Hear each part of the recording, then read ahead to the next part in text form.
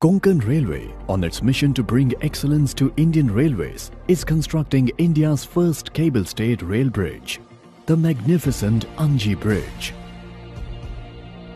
which shall connect Katra and Reasi under the USBRL project. Anji Bridge has a single pylon standing at a height of 331 meters above the riverbed. The main bridge having a length of 473.25 meters, ancillary viaduct with a length of 120 meters, the central embankment having a length of 94.25 meters, shall have a support of 96 cables designed to handle heavy storms or strong winds.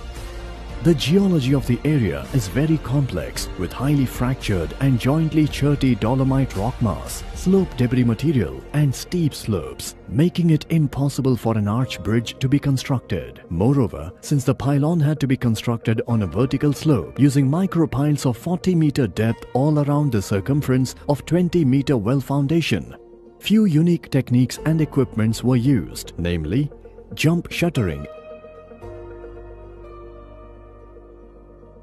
and pump concreting arrangement was used to increase efficiency.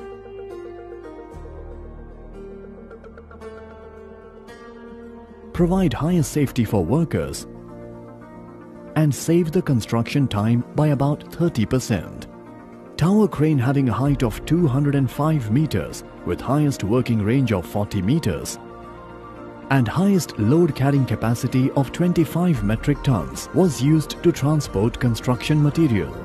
The bridge will have integrated monitoring system by means of numerous sensors installed at various locations on the bridge, recording various critical parameters on real-time basics, helping to identify the structural health of the bridge all the time.